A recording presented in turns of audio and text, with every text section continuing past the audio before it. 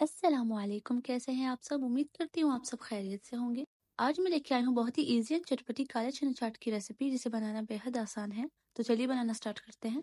तो सबसे पहले हम कुकिंग पॉट पे one fourth cup oil add करेंगे। ऑयल जब थोड़ा गर्म हो जाए तो हम इसमें वन टीस्पून जीरा ऐड करेंगे और उसे एक दो मिनट तक अच्छे से कुक करेंगे।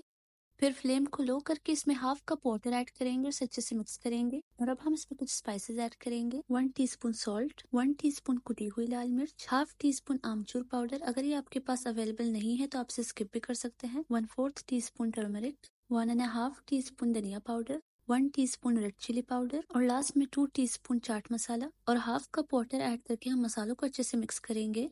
और हमें मसालों को इतना अच्छे से भूनना है कि इसमें ऑयल सेपरेट हो जाए। तकरीबन तीन से चार मिनट के बाद मसाला अच्छे से बुन चुका है। अब हम इसमें ऐड कर लेंगे टू एंड हाफ़ कप चने। तो अब यहाँ पर अच्छे तरीके से मसालों के साथ हम चनों को भून लेंगे।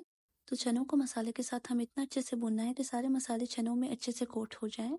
अब हम इसमें ऐड करेंगे तकरीबन फोर टेबल स्पून के जितना इमली का पल्प। इसको ऐड करने के बाद बहुत अच्छी तरीके से हम इसे मिक्स कर लेंगे और बहुत अच्छे से इसे भूनेंगे। तो मसला यहाँ पर हमारा ब्लैक चना बनकर तैयार है। अब हम फ्लेम को ऑफ़ कर लेंगे और उसे रूम टेम्परेचर पे छोड़ देंगे।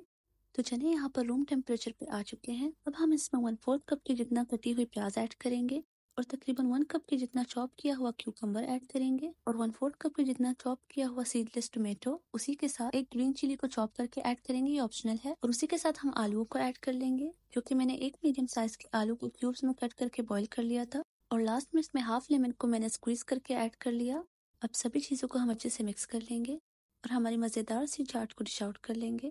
तो देखा आपने कितनी इजीली हमने इतनी मज़ेदार सी, चटपटी टेस्टी एंड हेल्दी चाट बनाकर तैयार कर लिया। जो लोग जो डाइट पे रहते हैं, उनके लिए एक कंप्लीट मील है तो ज़रूर से ट्राई कीजिएगा। तो अगर आपको आज की इजी रेसिपी पसंद आई है तो इस वीडियो को लाइक करें, मेरे चैनल को सब्सक्राइब करें। मिलती हूँ अगली रेसिपी में, तब तक के लिए अल्लाह हाफिज।